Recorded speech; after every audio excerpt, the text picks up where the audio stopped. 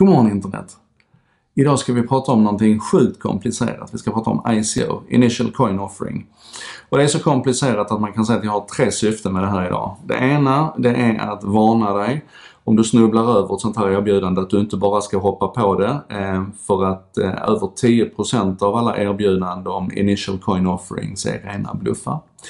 Därmed inte sagt att det är en dålig idé för det, men, men rent generellt försiktigt. Två, jag hoppas att du ska bli så intresserad att du sätter igång och börjar lära dig mer om det här. Det är bara att googla ICO, du kan börja på Wikipedia-artikeln och sen därifrån så kan du läsa mer om det här. För det är superintressant och det är en spännande mekanism, om än farlig.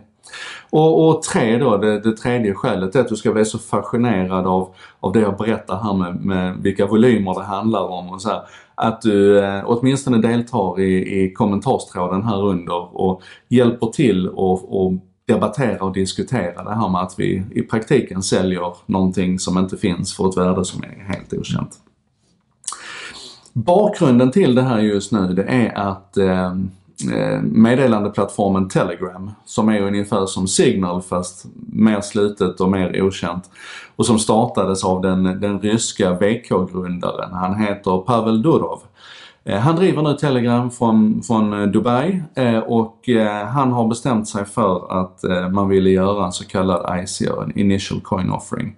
Nu blev det aldrig en publik offering, det blev aldrig ett publikt erbjudande av det här för att 200 investerare hoppade på och har totalt sett investerat 1,7 miljarder dollar. 1,7 miljarder dollar i den här virtuella valutan som då ska existera inom plattformen Telegram. Och jag ska kort försöka förklara vad en ICO är. Alltså IPO känner vi ju till. Va? Det är Initial Public Offering. Det är när ett företag går ut och, och erbjuder sina aktier till börsen och säger nu kan ni vara med och äga oss och då tittar man på företaget, man tittar på deras, deras eh, intäkter och deras struktur och vilken potential man ser i dem och så bestämmer man sig för, vill jag köpa aktier i det här bolaget eller inte? Och så gör man det på en, på en öppen börs. Det är en IPO. En ICO är en Initial Coin Offering där man säger, när ett företag eller en organisation säger att vi vill lansera en ny virtuell valuta. Ofta en cryptocurrency men vi får hålla oss till att det är en valuta. Och man kan betrakta den här valutan ungefär som vi kan säga lojalitetspoängen inom SAS till exempel. Du flyger och samlar på dig poäng och sen kan du ta de här poängen och så kan du handla saker för dem eller byta dem mot nya flygresor. Det är alltså en, en, en transaktionsbärare som inte är den traditionella valutan. Det är inte dollar eller, eller kronor eller ens ehm, eh, bitcoin eller ethereum utan det är alltså i det fallet eurobonuspoäng. Och det är en valuta som snurrar runt i det här systemet. Och det är oftast det en ICO handlar om, att man etablerar en sån valuta. Ibland så Tidigare så gjordes det utan en ICO när Kik till exempel hade sina kickpoints. Där du kunde göra saker inom meddelandetjänsten Kik och så fick du poäng och sen så kunde du handla andra saker inom meddelandetjänsten för de kickpoängen. Så hade du skapat en slags valuta som snurrade runt där. Vad du gör nu med en ICO det är att du går ut till marknaden och så säger du vi har för avsikt att lansera den här valutan. Tror du på den så har du möjlighet att köpa den nu och förhoppningsvis är, tror man då att man, man köper den billigt nu och sen när den väl lanseras och implementeras i plattformen så kommer den att öka i värde och då har du tjänat pengar på att köpa pengar, ungefär som när du valutaspekulerar.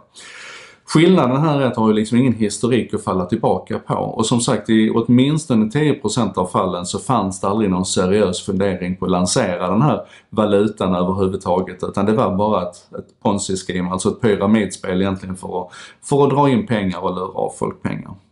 Så det här måste vi vara uppmärksamma på. Och, och Kick då till exempel, de hade ju kickpoint så det fungerade bra men sen bestämde man sig för att ändå lansera KIN som ju är då en, en virtuell valuta i plattformen där man gjorde en ICO för att man ville dra in pengar till, till plattformen.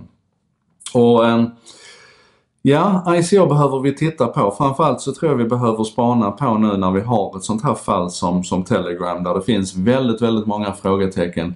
Och de lyckas alltså dra in 1,7 miljarder dollar ifrån 200 investerare. De drog in så mycket pengar i den här privata rundan så att de säger vi behöver inte göra någon ICO, vi har fått alla pengar vi behöver från investerarna.